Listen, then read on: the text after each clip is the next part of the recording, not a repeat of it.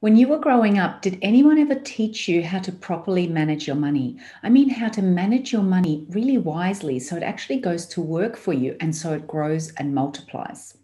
Well, for most of us, that was not the case.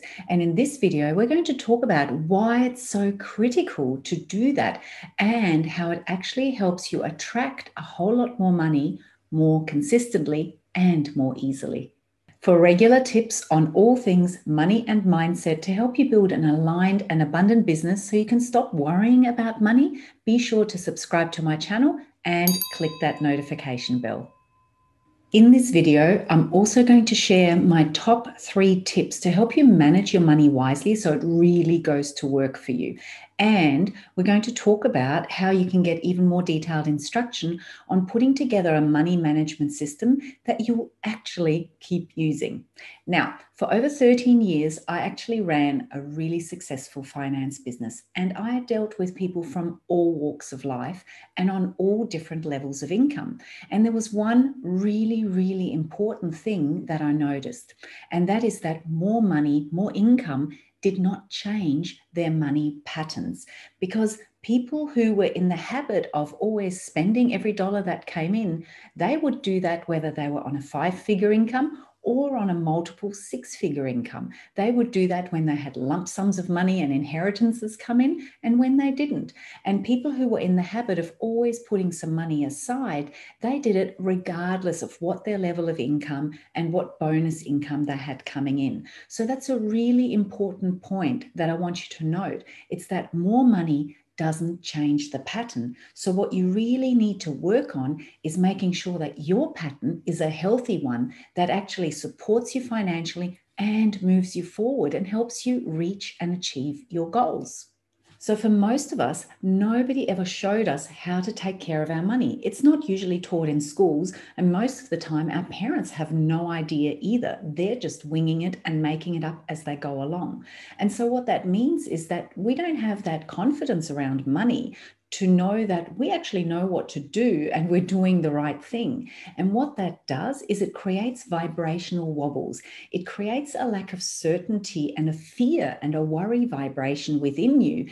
And that is not conducive to you attracting plenty more because when you're worried that as it comes in, you don't really know what to do with it and you're beating yourself up for having done all the wrong things in the past, that actually creates a vibrational block that does not allow the money to flow. And the thing is also that we're usually passed down from our parents all these generational patterns and all these generational fears and things around money. You know, all those silly things that people say, like, oh, money doesn't grow on trees. Who do I think, who do you think I am? Rockefeller, or I'm not made of money. My parents said those things to me too. And they they program us with those sayings, with those, you know, really systemic belief systems, and they're passed down through the generations. So we see our parents struggle, we see them with their own money issues, and that is then passed down. So if we want to break the cycle and break the pattern, we need to do that consciously. We need to break out of that cycle and start by actually educating ourselves, first of all, on how to take care of our money properly. Because once you build money confidence and you get a money management system in place, that actually works for you, that you're really excited about because you know it's helping you move forward and achieve your goals, that makes you really magnetic to more money. It makes you excited about bringing money into your life because you've got this system all set up to really put it to work for you and to help it grow and multiply so that you can keep moving forward in leaps and bounds. So, the key to really becoming more magnetic to money and breaking down a lot of the money blocks and the barriers is to get confident about managing your money, to actually sit down and do the practical work and set up that money system that really works for you. I'd love to know did anyone actually teach you how to manage your money as you were growing up? And I'd love you to share with me in the comments below what is the best piece of money advice that you've ever received? Okay, it's time for those top three tips to help you manage your money wisely so that you can become magnetic to more. Are you ready? Tip number one make compound interest work for you not against you. So, compound interest was called the eighth wonder of the world by none other than Albert Einstein because it is a really, really magnificent and powerful effect. So, compound interest is when you have interest earning interest, and then the interest on the interest is earning interest, and then the interest on the interest on the interest is earning interest, and so on and so on. Now, I have a term for that, and it is called making money babies because it's like a family tree. You start out with a few dollars, and when you let that effect of compound interest build and grow, it's like the family tree sprouting and growing and expanding. So, this is where your money is working for you to make more money. There are two ways to make money people working for money and money going to work. And that's what compound interest is all about. So, you want to make it work for you, not against you. When you have things like credit card debt and other debts that have interest attached to them. If you're not getting on top of that, then compound interest is working against you. You're literally making debt babies. So you need to turn the tide and get on top of that and switch all of those funds that are going into that debt system right now. Get on top of that as quickly as you can and switch that focus around to making compound interest work for you by investing in things that grow, by investing in things like shares and properties and anything that attracts compound interest and has a return on your money that you can then reinvest to get a return on the return. That effect is really, really powerful. So, tip number one start thinking about compound interest and focus on turning the tide from having it working against you to having it working for you. Tip number two give every dollar a job to do.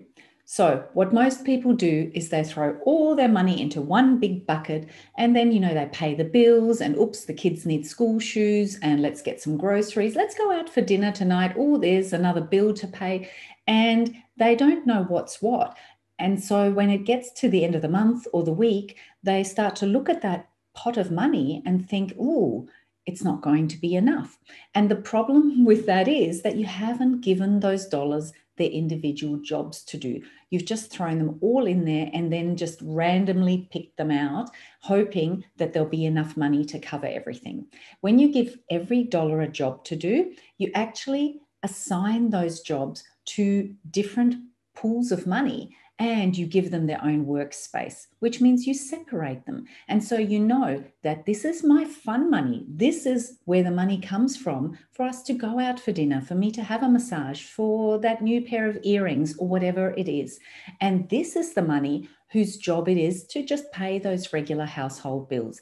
And then this is the money whose job it is to work on that compound interest equation and turn the tide from having it working against me to having it working for me. So every dollar gets a job to do and a place to do it. And that gives you that peace of mind of knowing that you're not robbing Peter to pay Paul, or that at the end of the month, you're suddenly going to be left short and a bill comes in that you can't pay. So every dollar gets a job to do. Very important. That's tip number two. Okay, moving along to tip number three to help you manage your money wisely and help you become magnetic to more. And that is to always know and stick with one current financial priority. So at any stage in life, you should know what your number one financial priority is. And you should put as much focus on that as possible. Ideally, all your focus.